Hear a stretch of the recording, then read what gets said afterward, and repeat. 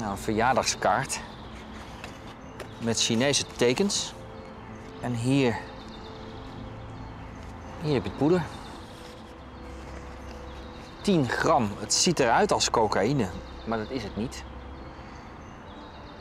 Maar van 6 gram ben je al dood. Binnen 24 uur.